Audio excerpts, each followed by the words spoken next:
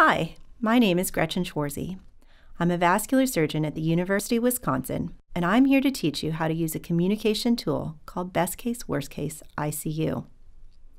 How often have you worried that your critically ill patient was unaware how sick they really were? Because they didn't understand the gravity of the situation, they or their family requested treatments with limited benefit. This frustrating experience can lead to conflict. To avoid this, and to help patients and families make difficult decisions, we developed Best Case Worst Case ICU.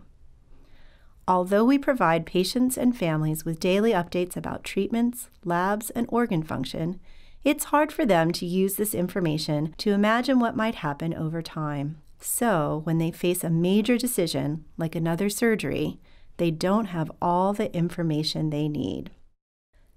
This story starts with your patient, Yara Lopez. Ms. Lopez is 76 years old and lives alone in a duplex next to her family. After an unwitnessed fall, she was intubated by EMS and admitted to the ICU early this morning with a femur fracture and subdural hemorrhage. She also has multiple comorbidities, including atrial fibrillation, chronic kidney disease, and COPD. Now your team is rounding. How can we make sure that everyone, including the family, other team members, and consultants, are on the same page? Let's look at the best case, worst case graphic aid. Each column represents one ICU day. Vertical lines represent the range of possible scenarios, describing how this new illness or injury will play out over time. The star represents the best case scenario, and the box at the bottom represents the worst case scenario. Each day, a major event is recorded at the top of the column. You place a star on the line based on how the event changes the best case scenario. As time goes on, the placement of the star will go up or down, depending on how these events change the patient's overall story. This will keep everyone on the same page. During your hectic day, how can you get this done?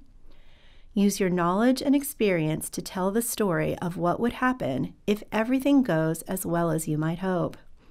You do this on rounds by adding Outlook at the end of the systems based assessment and plan. A member of your team notes what you say on the graphic aid. Let's go back to Yara. As you list the assessment and plan, what can you say about Outlook? In the best case scenario, we could get the breathing tube out today. She will need surgery for her femur fracture in a day or two. If things go well, we can get her out of the ICU and to general care. Given her other medical conditions, she'll need another week in the hospital and will probably need short term recovery in a nursing home. Today, you might put the star here, near the top. The length of the line between the star and the box shows everyone, including her family, that while we are hoping for the best case, a lot of uncertainty remains. Whether the family is involved in rounds or you meet up with them later, the graphic aid will help them see the range of what's possible. Sadly, on repeat head CT, Yara's bleed is much worse and she needs surgery.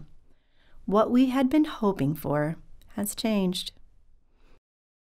Now, in the best case scenario, she will need more days in the ICU.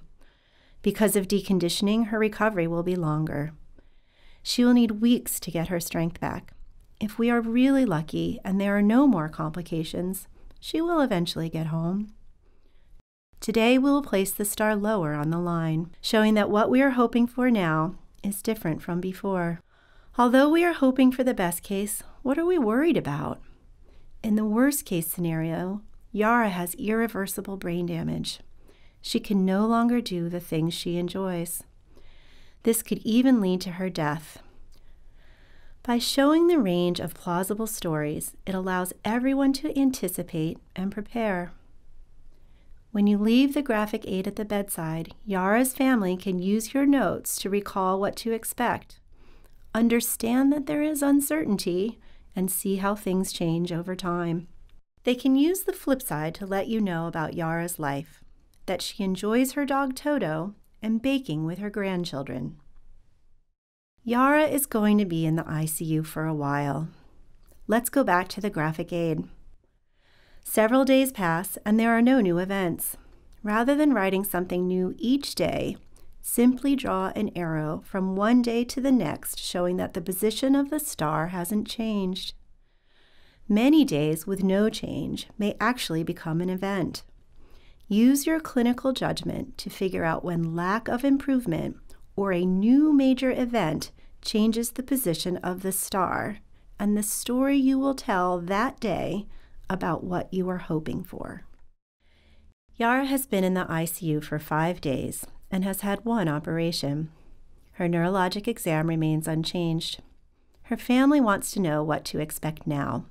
When you talk to them, use the graphic aid with your daily updates to help them follow along. Yara is still very sick.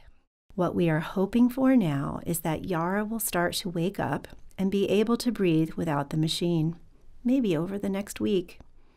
Even in the best case scenario, she will need several weeks in the hospital and a long recovery in a nursing home. In the worst case scenario, we are worried that her brain might not recover, that she won't wake up. She will develop more complications and die. Because she has had five days without improvement, what is most likely is that Yara's life will look different than before. She will need a lot more support. It will be hard for her to live independently and do some of the things she enjoys, like baking. By using stories, you can help Yara's family imagine the range of what is possible.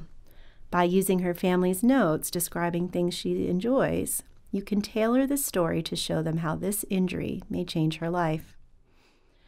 Over time, these daily updates will help everyone. If she gets better, she and her family can anticipate a long road to recovery. If she gets worse, her family will be prepared and the gravity of her illness will not come as a surprise. Your daily stories and the graphic aid will provide support and perspective for everyone, including other clinicians, if, in the future, there is a big decision to be made, like major surgery or the need for prolonged mechanical ventilation. Let's review. For best case, worst case ICU, you need to do the following include the patient's outlook as an important part of your assessment and plan. Tell a story each day that describes the patient's expected course if everything goes as well as we might hope. Move the star in the graphic aid to show how over time major events change the best case scenario you haven't done best case, worst case ICU unless you complete this step. Show the range of what is possible by using storytelling to describe the worst and most likely scenarios. Talk with families using the phrases, this is what we are hoping for, and this is what we are worried about, as a way to frame the best and worst case scenarios. Leave the graphic aid at the bedside so everyone can see your notes and how things might play out. Ask families to use the flip side to share with you what their loved one enjoys. So, what's next? Although updating patients and families is already part of your routine, try using best case, worst case ICU. See if it helps you avoid misunderstandings and conflict. No matter what happens, everyone will benefit from being on the same page.